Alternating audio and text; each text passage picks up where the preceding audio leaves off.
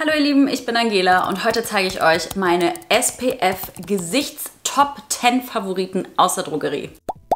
Dieses Video plane ich schon so lange und jetzt, wo der Sommer endlich da ist, habe ich gedacht, ich zeige euch meine Top 10 Sonnenschutzprodukte fürs Gesicht aus der Drogerie, weil in die Drogerie können wir alle gehen. Ich glaube, dieses Video ist am sinnvollsten als erster Step. Ich habe natürlich auch schon Sonnenschutzprodukte ähm, aus dem High-End-Bereich ausprobiert, aber heute geht es einfach mal rein um Drogerieprodukte. Ähnlich wie in meinen Hauls habe ich mir hier auch ein 5-Sterne-System überlegt, damit ihr einordnen könnt, wie gut ich das Produkt in welcher Kategorie fand. Und ich erzähle euch einmal kurz, wie ich mir das vorgestellt habe. Das erste Kriterium ist ist Auftrag und Konsistenz. Damit meine ich sowas, zieht das Produkt schnell ein, lässt es sich angenehm einarbeiten, klebt es auf der Haut oder rollt es zum Beispiel ab. Kriterium 2 ist Weißeln, also haben wir weiße Rückstände auf der Haut. Das ist ja auch immer super nervig bei SPF.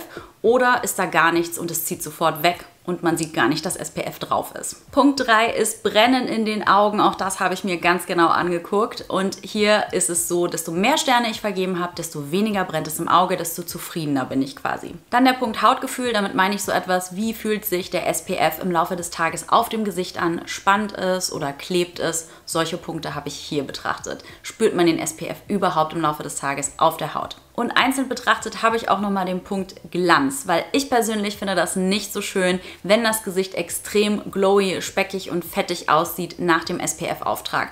Also desto mehr Sterne ich immer jeweils vergeben habe, desto besser finde ich das Produkt. Also bei Glanz zum Beispiel, ein Stern bedeutet, oh, es hat richtig doll geglänzt. Fünf Sterne, ich bin super zufrieden mit der Glanzperformance sozusagen und es hat nicht doll nachgefettet und nicht doll geglänzt. Und gleich blende ich euch auch zu jedem SPF, den ich euch zeige, mein Video ein oder mein Videoausschnitt, damit wir uns nochmal angucken können, was ich damals zu dem SPF gesagt habe, als ich ihn relativ neu getestet habe. Dieses Ranking hier heute ist natürlich ein Langzeitfazit. Ich habe die Produkte ja alle auch aufgebraucht gebraucht. Und da kann es sein, dass die Bewertung von den Sternen natürlich auch manchmal im langen Vergleich etwas abweicht. Außerdem muss ich das Ganze natürlich auch in eine sinnvolle Top 10 Reihenfolge bringen, damit wir hier einen schönen Vergleich haben. Legen wir los. Meine Top 10 ist die Hip Baby Sanft Sonnengesichtscreme. Wirksamer Schutz vor UVA und UVB-Strahlen und er ist wasserfest, was ich auch richtig gut fand. Das haben nicht alle SPFs. Er macht, was ein SPF macht. Ich finde ihn gut.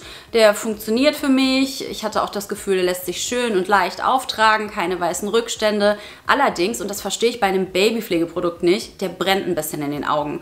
Also ich trage mir das ja wirklich immer auf den Augenlidern und auch unter den Augen auf, weil da gehört für mich ein Sonnenschutz auch einfach hin.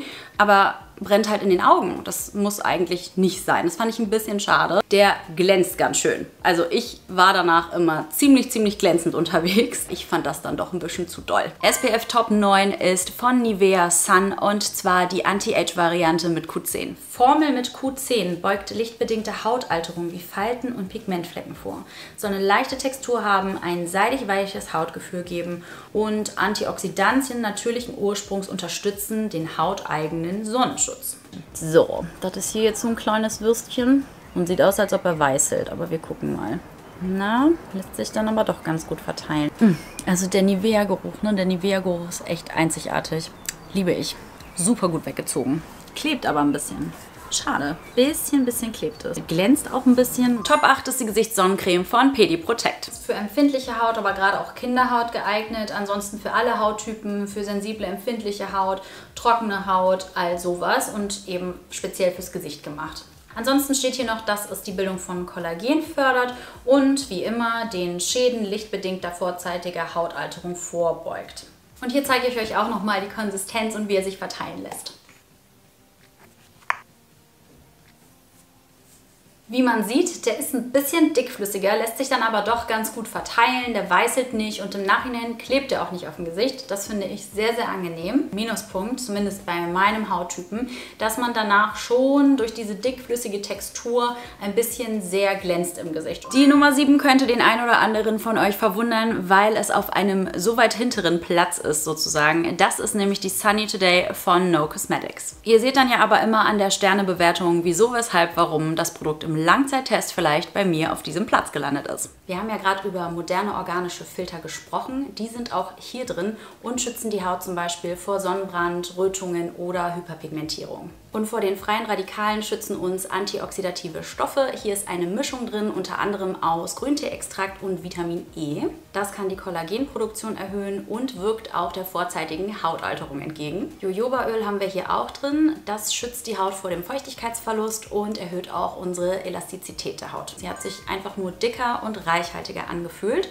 Und im ersten Moment hatte ich das Gefühl, sie klebt ein bisschen mehr als jetzt eine normale Tagespflege ohne Lichtschutzfaktor. Und am Ende des Tages war meine Haut die letzten beiden Tage wirklich richtig schön weich. Ich hatte auch das Gefühl, dass sie super mit Feuchtigkeit versorgt war. Wirklich ein richtig tolles Hautgefühl. Dass sie ganz leicht in den Augen brennt. Das tränt jetzt halt ein kleines bisschen. Auf der Nummer 6 haben wir ein günstiges Produkt von Sundance, nämlich den Kombi Sonnenstick mit Lippen- und Gesichtsprodukt drin. Hier die Creme, die hinten drin ist, soll eine besondere Formulierung haben. 24 Stunden Feuchtigkeit auch noch parallel spenden zu dem Sonnenschutz und der Lippenpflegestift schützt die empfindliche Lippenhaut vor der Austrocknung und vor Kälte steht hier sogar.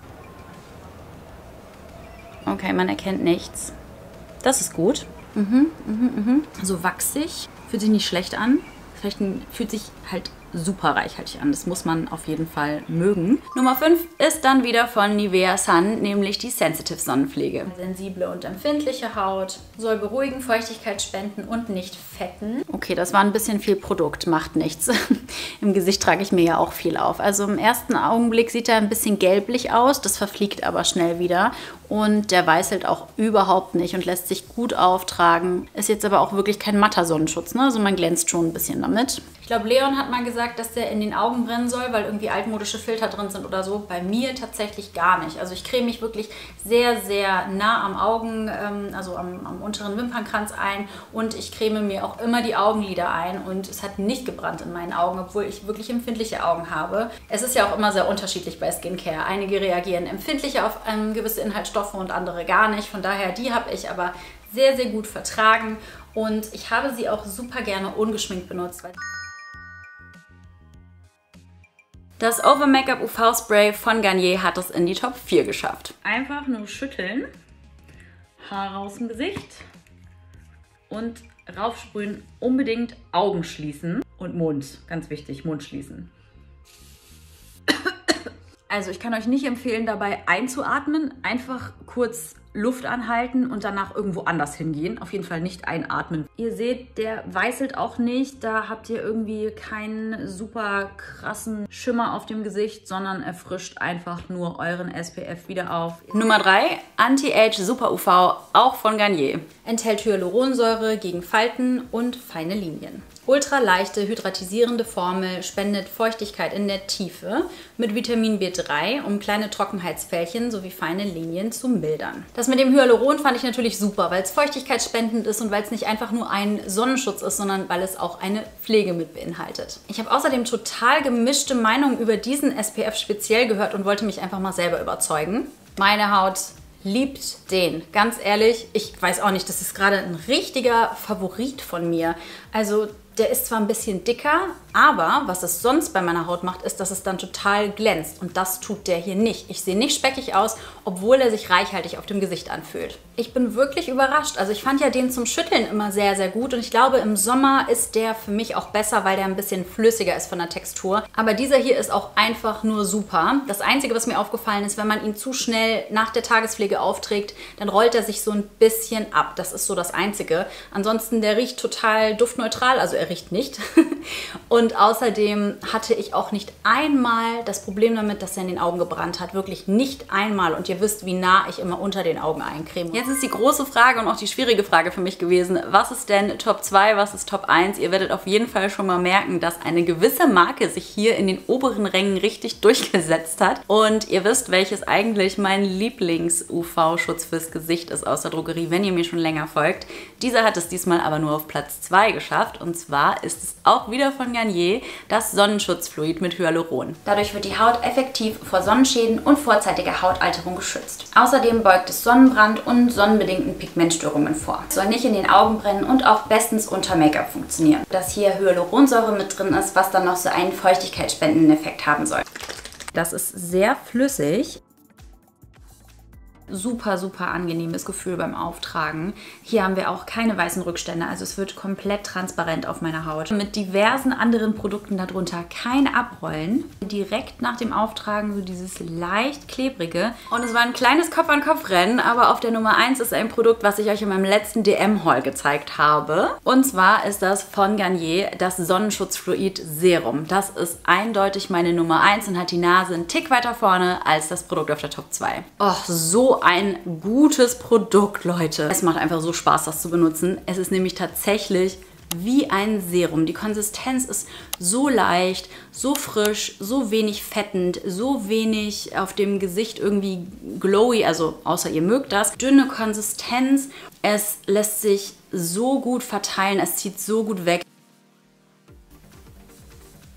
Schaut euch das mal bitte an. In zwei Sekunden weg. Es ist weg, es weißelt nicht, es glänzt nicht. Es ist einfach ein Game Changer. Insgesamt kann ich sagen, sind das alles ganz gute SPF-Produkte von der Top 1 bis zur Top 10. Es kommt immer auf eure individuelle Haut an. Ich sag's immer wieder, wie das Ganze bei euch performt und wie es euch gefällt. Ich wollte dieses Video jetzt hier für euch machen, damit ihr einmal eine kleine Einschätzung davon bekommt, wie ich die einzelnen Produkte fand, dass ihr sie so ein bisschen einordnen könnt und ich hoffe, dass auch die Bewertungskriterien, also das Sternesystem, euch eine Hilfe sind bei der Entscheidung, wenn ihr das nächste Mal in die Drogerie geht. Ausgenommen von dem Video sind jetzt natürlich alle Körpersonnenschutzprodukte. Ich habe natürlich auch einige für den Körper schon benutzt aus der Drogerie. Allerdings sollte es hier jetzt erstmal ums Gesicht gehen. Und natürlich verlinke ich euch auch alle Videos, wo ihr gerade die kleinen Ausschnitte gesehen habt, nochmal als Komplettversion unten in der Infobox. Dann könnt ihr euch das Ganze in Ruhe nochmal angucken, wenn ihr möchtet. Das sind teilweise Hauls, teilweise sind das Vergleiche mit High-End-SPFs gewesen, teilweise waren das Langzeitfazits, wo ich den SPF eine ganze Woche auf dem Gesicht getestet habe. Schaut da gerne mal rein, wenn ihr mögt. Falls euch das Video weitergeholfen hat, freue ich mich natürlich, wenn ihr mir ein Abo dalasst, weil dann sehen wir uns nämlich schon ganz bald wieder. Und bis dahin wünsche ich euch einen wundervollen Tag. Bis dann!